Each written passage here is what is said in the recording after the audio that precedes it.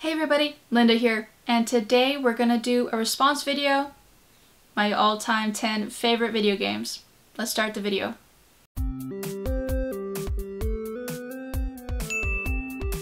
So, for the video, it was difficult to get to 10. I had to go from 50, 25, 15, and then I realized there's no way to do 10 because there's different reasons why I like 10 off stream and why I like 10 on stream. So I'm going to do a two-parter.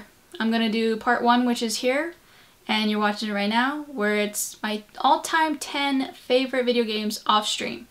And the reason why I did that was because I realized I had a bunch of games that I streamed that I would love playing on the channel over and over again, but they were not ones that I liked to play off on my own. But these are the video games that I can play off stream and no matter what's going on, I can clear the save data, start fresh, the story never gets old, and the gameplay is never old. So these are not in any particular order. It was just too difficult to pick an order, but we'll start off with a classic, and the first game is Super Mario World.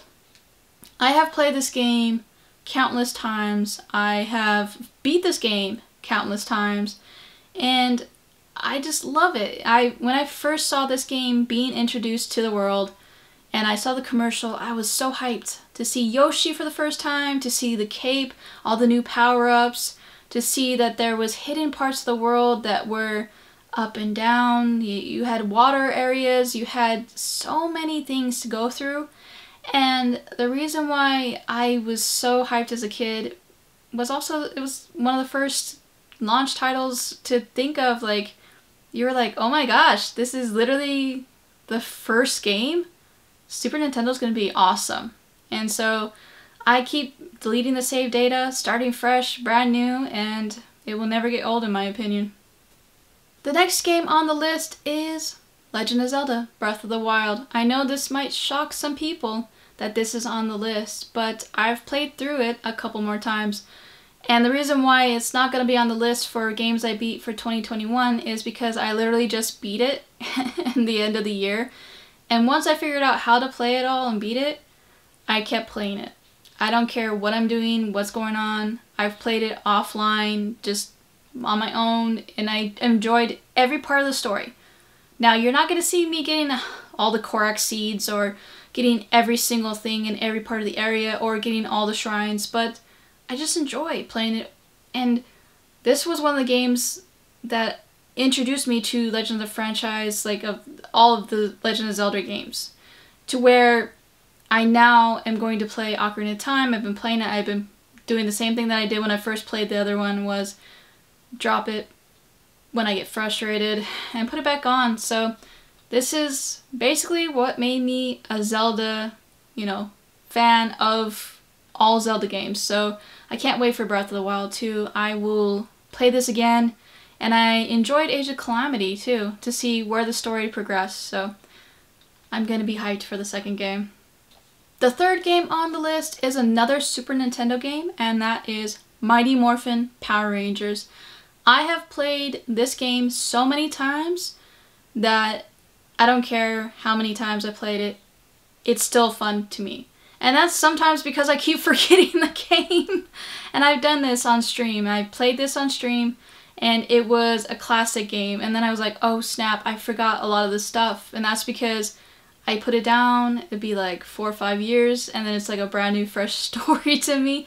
But it's literally the show. So you know the show, you're gonna know all the enemies, you're gonna know all the stories, you're gonna know like Rita Repulsa, Goldar, different things like that. And I liked that it was a beat 'em up and I liked that it was a beat 'em up with patterns. So if you just memorize the patterns, you're gonna crush this game. And it's not so easy to where you're like, oh my gosh, I literally played this game and I was bored, or I played this game and it was way too easy. It still has times where you have to pay attention, and the final boss, it takes a long time to master that boss. So I barely one credit cleared this game, and even then, there's moments where I'm like, oh shoot, I forgot the patterns. And you think, oh, you're done. And then it's like, there's a second phase. So practice this game, you will love it. The next game on the list is Popeye. I have played Popeye so many times with family, friends, and this is a classic NES game that never gets old and it's repeating over and over again to where it's the same levels just gets harder. And that's I think what is the beauty of this game is that you literally don't see an end. You just see the next one with a different symbol and your lady love is throwing stuff down for you to catch and you got an evil guy who just keeps trying to take her away from you. So I love this game. I don't care that it's not really got an ending to it because it's Popeye. His story is so classic Literally, go get some spinach, get some strength, and you defeat the evil one. Classic in my opinion, and it never gets old, so that's why Popeye's on the list. Now we're going to move on to a PS1 title, and that is Tony Hawk's Pro Skater. I have played Tony Hawk's Pro Skater so much that I have memorized all the levels. Now, you can play it with the other skaters, you can challenge yourself to 100% it, which I've done several times. And no matter how many times you do it, it's still classic. The soundtrack is so good, I could just leave the game on and literally play this and just be like, okay, it's a CD. I've done that plenty of times where I've just played this as a CD and just left it in the background while I was editing a video or even just playing another game. I left, like, this would be on another TV in the background playing while I'm watching that, and that's what I would do. I would either play it on YouTube if I didn't want to burn my system because let's face it, PS2s and PS1s, they're becoming obsolete. So I sometimes will just watch it on YouTube while somebody has the soundtrack playing. But it's one of the first to make skateboarding a regular staple, and it was so good that I can play it over and over again and never get tired of it. Another classic that's on PS1 that I can play many times and I never get bored of it is Crash Bandicoot. Crash Bandicoot 1 is so good that I have just sometimes just played it just randomly. And I'll play a couple levels. I won't even I'll you know just go and be like, "Okay, I'm I'm wanting to play this game." And I've seen a lot of people stream this game and get frustrated, but I understand because it's a classic that has some weird jump mechanics to some people, but once you figure it out, you will keep playing it till you cannot play it anymore. And I love the story, it's hilarious. It's one of the ones that made me go, oh crap, this is gonna be, uh, like, I predicted it that it was gonna be a staple where we're gonna wait for one, two, three, four, and then it became bad, but we got a good game again. We got Crash Bandicoot 4, we got the N. Sane Trilogy brought back to life, but I do love the original. Never go wrong with the very first one. And I do love the, the soundtrack. I love the theme. It's another game that I sometimes will just play the theme and I watch covers of the theme. And my favorite, the reason why Crash is my number one mascot, is he talked crap to Nintendo. Booyah. Now, the next game on the list, I debated about which one to pick, and you'll see why in a second. It's a PS2 title, GTA 3. I loved GTA since the first, you know, 3D one popped up and it wasn't top-down view. This came out, it was a game changer. It changed a lot of PS2 games for the better. It was a game that you literally were surprised by all the stuff there was to do. I played this game day one and I didn't put it down until I beat it with my brother. Now, Granted, we were young and we were not supposed to be playing the game, but hey, c'est la vie. You gotta play a game you love. So I played it.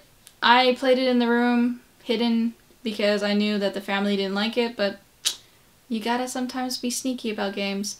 Now, the reason why I picked number three is because it was the very first one to put this game on the map. GTA wasn't barely talked about. I mean, a lot of people didn't like the top-down view. I didn't particularly like it, and I didn't really get the story. I didn't understand it until this came out. Now, I liked the fact that he didn't talk much or talk at all because of the reason was you became the character. You were the one who was the person telling, hey, go do this mission for me, come back and get your thing. And then also you wanted to make sure that you were growing and getting up into the franchise, into the whatever you were trying to be and trying to be the boss. Now, I love that I can pop this in, start fresh, brand new, and it's good. Now, I did not pick the definitive edition because it's crap. I picked the original because there's the original soundtrack and there's not as many glitches. It's not bad. So, definitely play the original. Don't play the definitive edition. You won't be disappointed. This game on the list was something that I debated about as well. Saints Row the Third. This game was the reason why I started playing Saints Row. It was one of the first games that I heard about Saints Row, and I played this like GTA 3 from beginning to end, and I did not put it down or play any other games until I beat the game. I was so immersed in it, and when I saw the trailers and everything like that, I was playing all the songs that were on the soundtrack on repeat. This game, I did not stop until I got to the end, and I replayed it several times because I saw there was a different ending. I saw that there was multiple different ways to get like destroy the building, keep the building, play as this character as male, female, um, save this person, don't save this person, and I literally loved it so much that I still have it, and I got the full package DLC version, which I didn't have to get because I already had the game, but I wanted to see what the DLC was about. And I liked that even though they did it in a fresh new era, it was a game that made me laugh. Not only was I invested in the characters, I made sure that I protected them as much as I could. And that's a good storyteller. The people who made the games did a really good job. And that's why I didn't pick Saints Row 1 or Saints Row 2 because a lot of the characters I got invested in, they died and then they went, oh, okay, yeah, go defend them, go go uh, get revenge. And then it was like, oh, okay, oh well. We didn't see a funeral, we didn't see anything. You cared about Johnny, you cared about Shaundi, you care about Angel. Even Angel was there for five minutes. It's like, you literally cared about them. And I'm playing through Saints Row again. I just finished Saints Row 1. And I loved it, but again, the characters were not remem- rememberable. Like to me, some of them were just like, okay, they're there, and then they're gone. And Saints Row 2, I didn't pick that because I found out Volition made a mistake, and then they just changed the story to where Julius was basically the mastermind in trying to double cross you, but in reality, he wasn't supposed to be that in the second game. So that's why I picked the third one because even though it was you know, not the original style. They went so out of the box to not be a clone of GTA that I loved it. Now, some people don't like that, but for me, this was a classic and it will never get old. Now, the ninth game on the list was Where in the World is Carmen Sandiego? The Master System version because this was the one I had the whole time. Now, I did play the DOS version or the PC version, depending on what game system you're playing. I had this one. I had a Game Gear and I had also in my like a converter, I had a Master System converter set so I could play this game.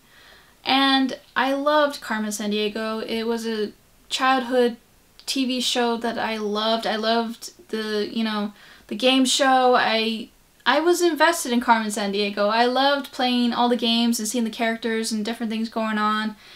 And no matter how many times I play this game, and granted, you might not even see Carmen Sandiego for a long time, I've enjoyed it. I will say it's not for everybody. This is one of the games on my list that I probably wouldn't recommend unless you have a thesaurus, which we now have Google. You can look it up and figure it out and even the walkthroughs are like, well, I can't really tell you what the next one's going to be because it's random. There is the criminals and they are random, but most of the time it's like once you figure out who it is, you kind of can go through the steps and know what to do, but it's kind of tedious. So this game is a classic for me because I grew up with this, the educational games, but it's not one of those ones where you can't keep playing it. So I can play this forever, but that's because it's me. It's a classic, I know the story, and I love this game. So, get it, try it. Find out where she is in the world. The final game on the list is Tekken Tag Tournament. And the reason why I love Tekken Tag Tournament and I didn't pick the other ones because again I debated about which one to go for was because of the simple fact that it was the first time they innovated this system and they incorporated two player combo fighting. I didn't expect that from them. I thought they were just going to keep doing the single fighter for the rest of the time and all the other franchises were going to do that. And when they jumped into this, I was super stoked about it. I loved it. I, I love the fact that I could use combos. I could do Jin or I could have, you know, Eddie Gordo or whoever I wanted to invite to the, the battle. I could do that. And it was a staple that just got a upgrade in my opinion. And that's why I kept playing it. I've deleted all my save data from all of my memory cards. Uh, and I have a couple of them. And I'll just keep playing it and it's on repeat and I don't care. And I love the fact that it wasn't just, you know, the normal bosses. They actually threw in some twist to it to where you you expected, you know, of course, they're throw the the kid off the cliff or throw the father off the cliff, whoever it is, because you know there's there's three people to pick from, and normally it's just usually Jin getting tossed off the cliff. But it was funny to see that they actually invested in a battle where you could have them fight together.